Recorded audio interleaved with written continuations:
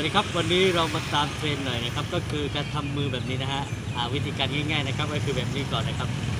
แล้วก็ปึ๊บแบบนี้นะครับแล้วก็นี่ฮะง่ายๆฮะเอาใหม่นะฮะแบบนี้ก่อนนะครับ